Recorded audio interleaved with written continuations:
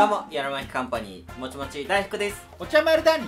こんにちやいそー。さあ本日の動画は練習的勘違いしちゃう不思議なワード。よいしょー。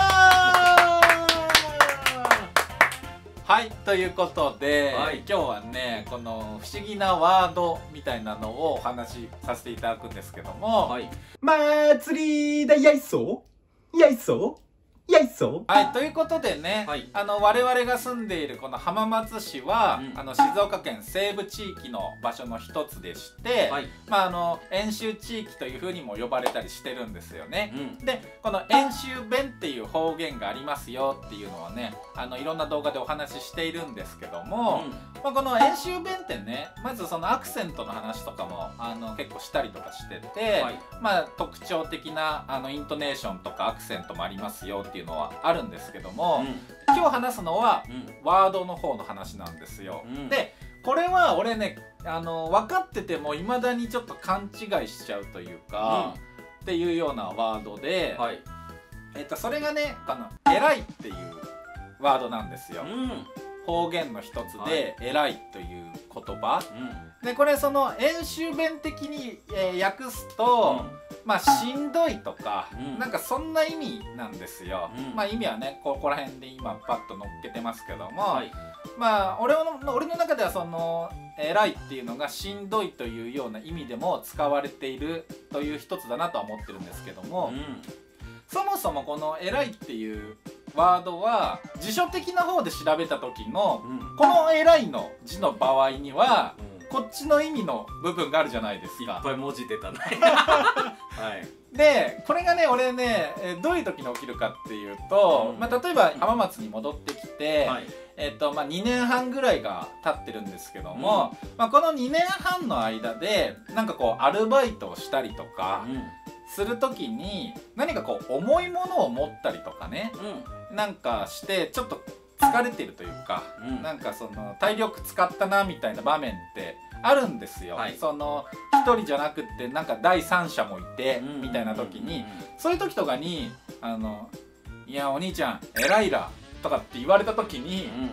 この偉いらは完全に演習弁的な方で来てる偉いらなんですけども、うんだからしんどいでしょみたいな、お兄ちゃん大変でしょみたいな方で来てんだけど、言われた瞬間はなんか俺もなんか作業してたから褒められてる？みたいな その一瞬ね謎のバグりが起きる時があるんですよ。ほんの多分なんか1秒とか2秒だと思うんですけど言われた時に2つの意味が頭の中で起きるわけですよ。ででも絶対にこの1秒ぐらいの間で 今の俺のこの状況からしてあと今俺はこの演習地域にいるぞという方と自分よりも年上の方で俺に話しかけてきてるっていうのをなんか瞬時にやった結果あしんどいの方で言われてると思って「いや偉いですね」とかって返したりとかするとかとかがあるんですよ。このなんか瞬時にこういろいろ計算をして 計算中かなんかなんかババババってやってこのねこんだけ話してるけど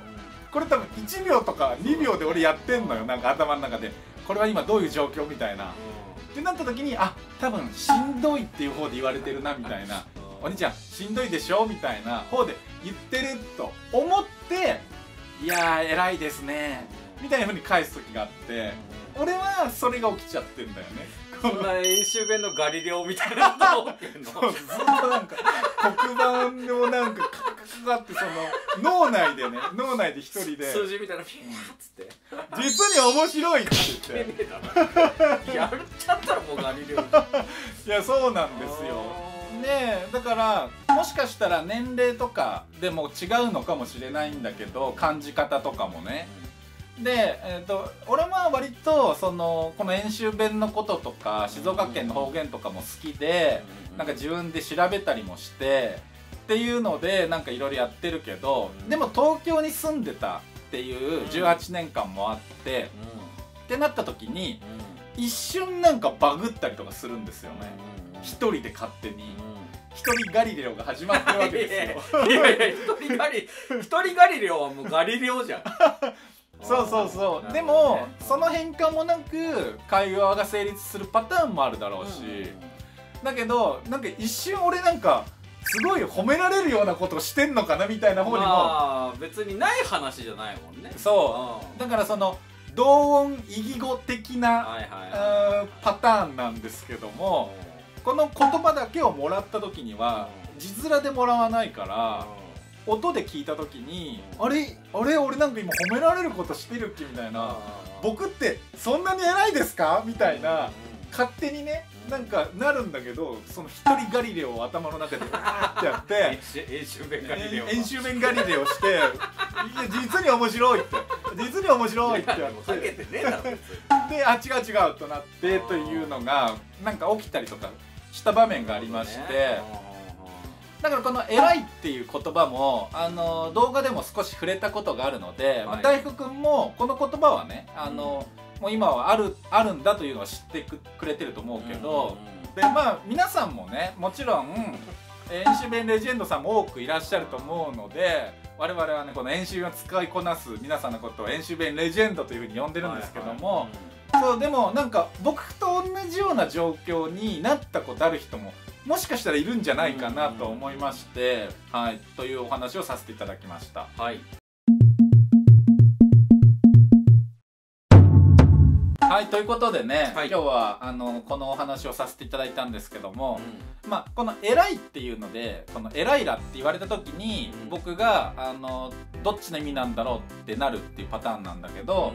まあこれは僕も自分でね起きたことだもんで、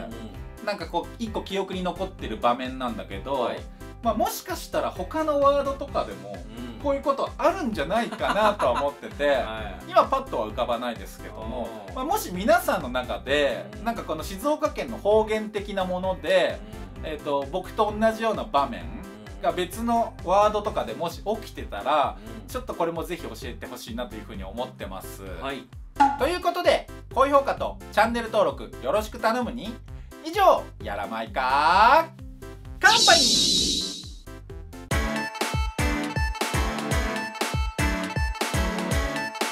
高評価とチャンネル登録よろしく頼むに。やらまいか。次の動画も見てね。